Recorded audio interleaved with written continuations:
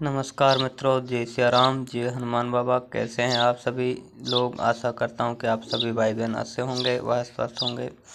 तो साधक भाइयों, जैसे कि हम यक्षिणियों का सीरियल चला रहे हैं तो उसमें जो आज हम साधना लेकर आए हैं, ये है मनोहरिणी मनोहरिणी यक्षिणी की साधना। ठीक है ना? ये यक्षिणी है जो साधक को स्वर्ण दान करती है, स्वर्ण प्रदान करती। है ठीक है? प्रतिदिन सोने का दान देती है और बहुत पावरफुल साधना है और साधक की हर मनोकामना पूर्ण करती है और चौबीस घंटे साधक का साथ देती है। ये बाकी वाली यक्षिणियों की तरह नहीं है कि आपको, ये आपके मित्र रूप में रहती है और आपका हर कार्य सिद्ध करती है। ठीक है ना? कोई भी आपका काम हो, ये तत्काल करती है और आपको धन संबंधित किसी भी प्रकार की प्रॉब्लम ये तुरंत सॉल्व करती है। जैसे कि आप कर्ज में डूबे हैं तो ये साधना करें। अगर आप अगर आप धन आदि प्राप्त करना चाहते हैं तो ये साधना ज़रूर करें। गरीब गुरबा कोई भी हो, साधक भाई, इस साधना को अवश्य करें। ठीक है, ये साधना जो भी करे, अपने गुरु के देख रेख में ही करें, अपने गुरु के मार्गदर्शन में ही करें, और गुरु आज्ञा लेकर करे। ऐसे तो ना करें। नहीं तो इसमें हानि होगी या लाभ होगा, उसका जिम्मेवार स्वयं होगा। मैं और मेरा चैनल नहीं होगा, कोई भी नहीं होगा, क्यों? कि ये जो साधना मैं यहाँ यूट्यूब पे देता हूँ, ये ज्ञानवर्धक है, ठीक है ना? ये होती है हंड्रेड परसेंट है। लेकिन जब आप गुरु बना के गुरु की देख रेख में करते हो तो तो भैया उसमें हम भी जिम्मेवार होते हैं और बिना गुरु की देख रेख में करते हैं तो इसका ना ही तो मैं जिम्मेवार, ना ही हमारा कोई चैनल होता है, क्योंकि साधना सिद्धि कहने में सरल है, लेकिन उसका परिणाम जो है, वो कई बार बहुत बड़ा भुगतना पड़ता है। ठीक है? तो आज जो मैं साधना, मनोहरिणी, यक्षिणी की साधना लेकर इसका मंत्र सुनाता हूँ।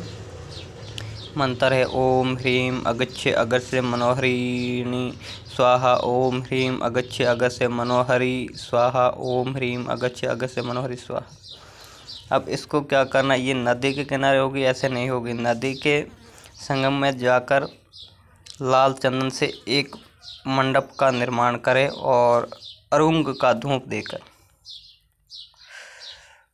अगेरू का धूप देकर एक मास तक जो मैं मंत्र बताया है, इसका सहस्त्र बार जाप करें। रात को करना, आठ बजे के बाद इसमें कपड़े, आसन वगैरह सब अलग से रहेंगे, लाल रंग के रहेंगे, ठीक है? और साधनों में हमेशा कपड़े और आसन अलग रहना चाहिए। साधना के बाकी टाइम में आप अलग कपड़े पहन सकते हो, लेकिन साधना के समय जो है, वो कपड़े अलग पहने ठीक है, फिर एक मास के अंत में चंदन तथा फिर जब भी आप एक मास की ये साधना करें, जब लास्ट दिन रहे, उस दिन आपको एक मास के अंत में चंदन तथा जल से अर्ध देना है। और जब भी ये साधना करें, पंचो पंचो उपचार पूजा से करें। पंचोपचार पूजा कैसे करते हैं, जैसे देवताओं की करते उसी प्रकार मेरे वीडियो दिए हुए हैं। और फिर पुष्प तथा फलों से एकाग्रचित से यक्षिणी की पूजा करनी चाहिए। ठीक है, फिर आखिरी दिन जब हो उस समय आधी रात के समय यक्षिणी निश्चित रूप से आती है। जब लास्ट दिन होता है आधी रात के समय निश्चित रूप से सुंदर वस्त्र धारण किए हुए ये यक्षिणी आती है। ठीक है ना?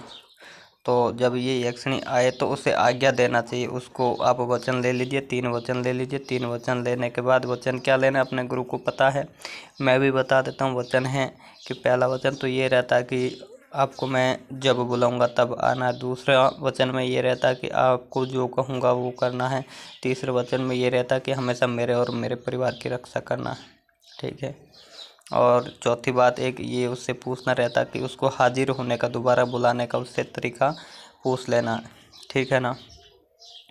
तो जब भी ये यक्षिणी आती है, उस समय आप उनसे कहेंगे। उनसे आप जब भी उनको आज्ञा देंगे तो वे आपको स्वर्ण सौ मुद्राएँ साधक को प्रदान करती है। जब पहले दिन प्रत्येक सेकंड होता तब भी करती है और जब भी हम लोगों को जब भी आवश्यकता पड़े उस समय हम इनसे मांग सकते हैं। ये स्वर्ण मुद्राएँ प्रदान करती है, जिसको आप प्राप्त करके करके अपना जीवन सफल बना सकते हैं। तो मैं आशा करता हूँ कि आप सभी साधक भाइयों को मेरा ये वीडियो पसंद आया होगा। अगर पसंद आए तो आगे से आगे शेयर करिए और हर साधक तक पहुँचाइए। ये ज्ञान हर एक जगह नहीं मिलेगा और सही नहीं मिलेगा और ये कोई भी साधना, यक्षणी साधना हमारे मार्गदर्शन में कोई साधक भाई करना चाहे तो भी कर सकता है। हमारे से संपर्क करके पुराने वाले मेरे जितने वीडियो उसमें मेरे कॉन्टैक्ट नंबर है, आप संपर्क कर सकते हैं। जय सिया राम, जय हनुमान बाबा। मिलते हैं अगली वीडियो